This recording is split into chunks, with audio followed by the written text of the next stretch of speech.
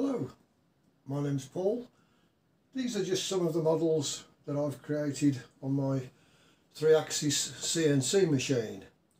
Now most of them were carved using the four-sided carving method, uh, including the globe of the world. All that is, except the four in the front here, which I carved on a homemade rotary axis. Now I only have a three axis machine with a three axis controller so I wanted to add a rotary table to my machine. So let's go and have a look and see how I did this.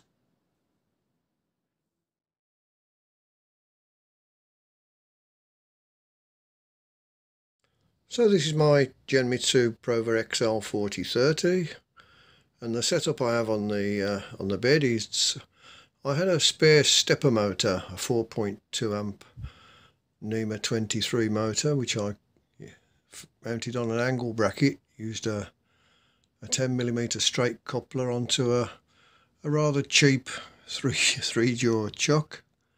Uh, and at the other end, again, just a cheap um, tail stock, which had a fixed chuck on it. So I needed to fit a, a little rotary bit in there to enable the uh, the timber to go round.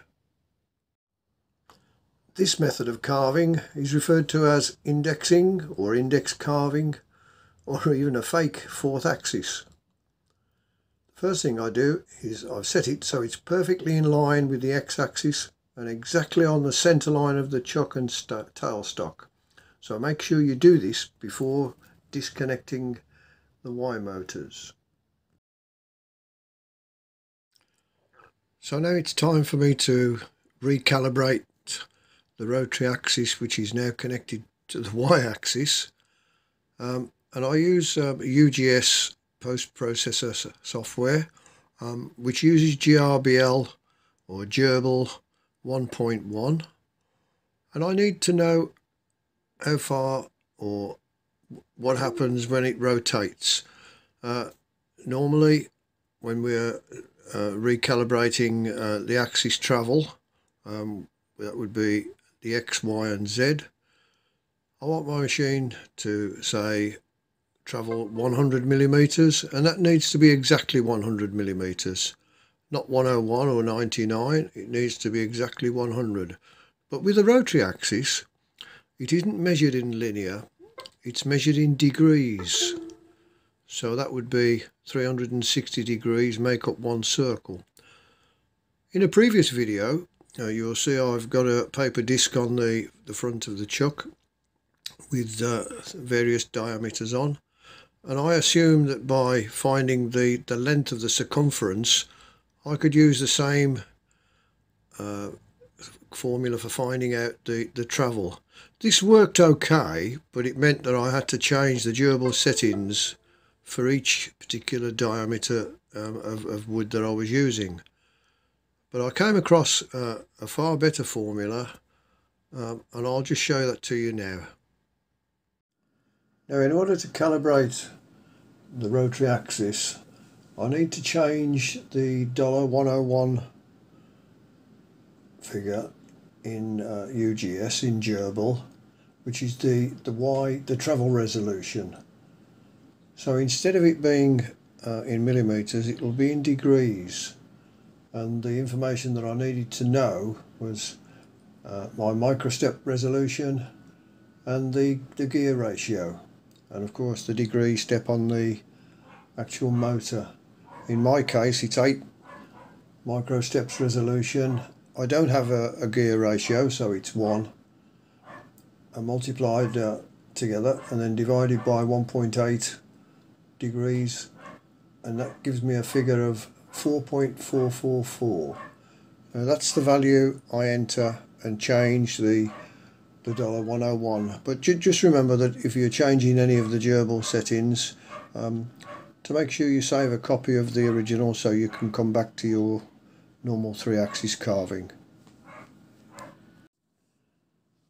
Now it's time to put a blank of wood into the the little mini rotary axis and I drill a hole and glue in a, a little piece of 10 mil dowel Uh, this just means that um, the end of my wood is, is clear of the chuck. Um, ignore my little bit of tape with the mark on there. Uh, and if it's square, uh, I take the corners off roughly um, with my little saw and that sort of helps. Now we need to move on uh, and create an area toolpath or rather we need to surface this wood now to make it round.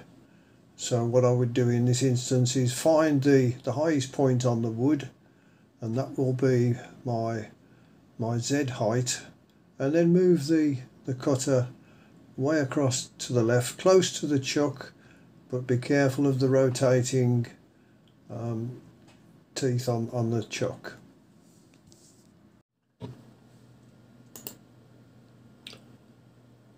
So now it's time to open Carveco Maker. I've used Carveco Maker for quite a while now and they've been extremely helpful and supportive.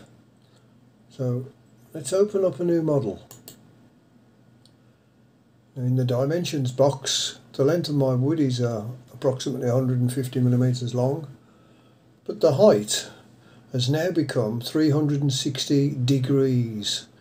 Because we set the rotation steps per degree, this will now be 360 degrees regardless of the diameter of your wood. And I set the origin point in the bottom left. Okay. So this side of the, the workpiece is facing towards the chuck and this side is facing towards the tailstock. And my origin point can be anywhere around the circumference of the wood. So the first thing I need to do is to create a rectangle around, a vector rectangle around my workpiece. So drag it out to the corners and it will snap and then say create. Close the tool settings and open up the toolpaths. I now want to create an area clearance toolpath so I select that. And I want it to be with inside the selected vectors. So my start depth will be zero and I'm going to take off about one millimeter. So we put one in there and add my tool to the tool list. I use a, a little 1 8 end mill, so I select that and now just check the other settings, make sure I've got a safe Z height. The material thickness at this point doesn't really matter, so we'll call it 10 millimeters. And the top offset is zero. So we say OK. Now we just tell it to calculate. So that's our area clearance toolpath.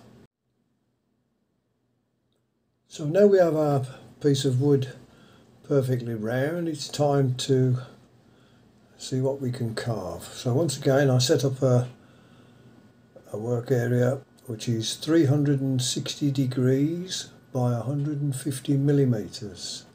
So let's open up Carveco's library and we'll just choose an animal and we'll grab this one and bring it across onto the, the work area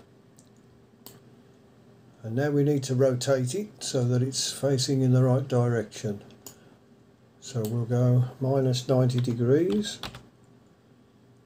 and say apply and now we need to just stretch it out a little bit so as it fills part of our work area. And we'll move it close to the bottom. Now if we were to leave this exactly where it was, this represents one full circle, one rotation, I beg your pardon, of our wood. So this would only carve around a quarter of our piece of wood. So what we need to do is to resize this so that it's going to go almost all the way around our, our timber. So what I should do is increase the height which is this way now and we'll make that 100 and, 125 say and we'll say apply. Now we need to give this relief some depth so we'll call it 5 millimeters and we'll say apply and again we just need to move this onto our work area. So we'll have a look. Now we need to stretch this out now to go around our piece of wood. So we grab the top one and we will stretch it out until it's almost all the way around our wood and we can move it up just a little bit just so you can see that the the top and the bottom this point on this leaf and this point on this leaf will be round the back of the wood. So we now need to paste this down. And now we can treat it exactly the same as we would if we were carving relief onto a flat piece of timber. So we would select the the 3D tool paths, we now need to create a vector around our, our model. So we drag across the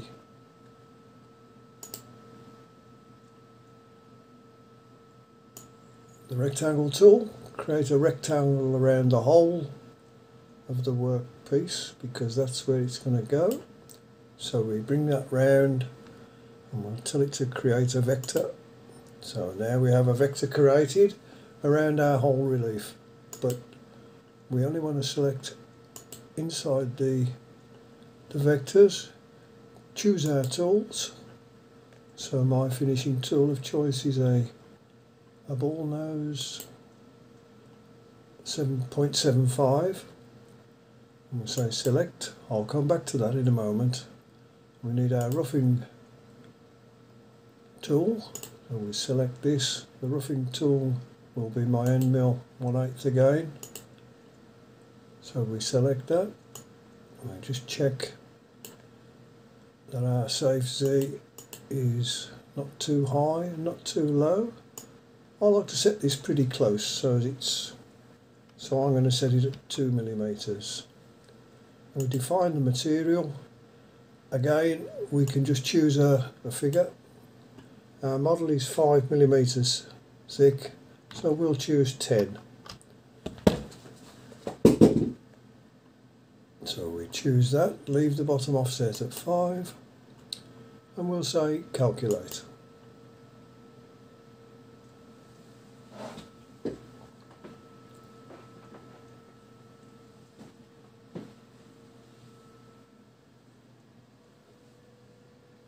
So there we are.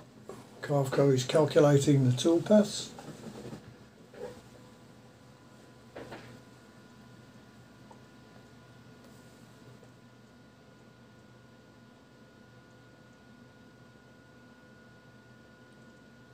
There we are, so that's done.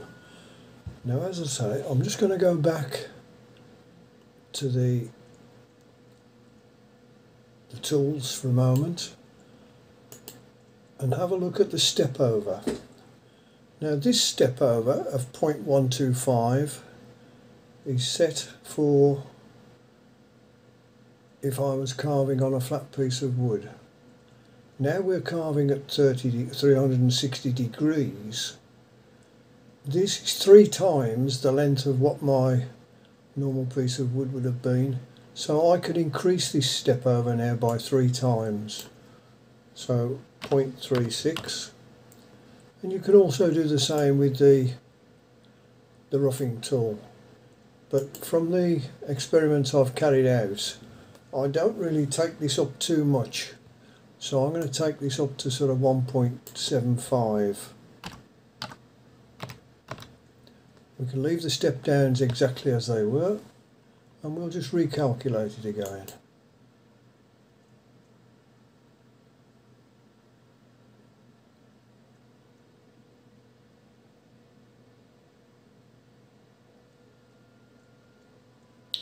Now this makes the carving process a little bit quicker. So there we are, we're almost there. And there we are. So we can close this, machine relief, and close the, the rectangle. Now let's have a look at the toolpaths before we go to save it. So let's have a, a look at the simulation. So we will simulate the control bar and we'll have a look. So let's just spin this through a few times. We'll have a look now. This is using the the end mill for our roughing path. I'll fast forward this a little bit and that's our, our roughing tool path. And we close this, delete that one and open up the, the finish.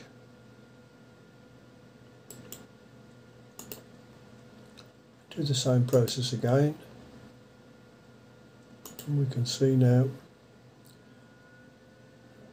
we will just slow it down to real time. And we can see now that for every pass from left to right and right to left our machine is rotating in the steps around the circumference and this will now carve through the whole process and it will go around our piece of wood.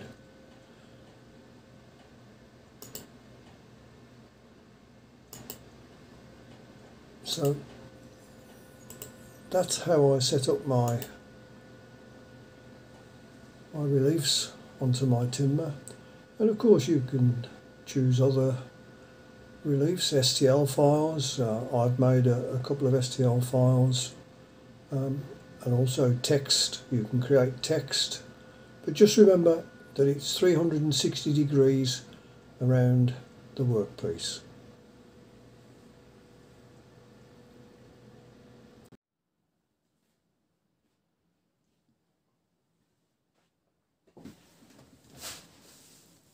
So that's how I set up my rotary axis and the scope for what you can achieve is only limited by your imagination.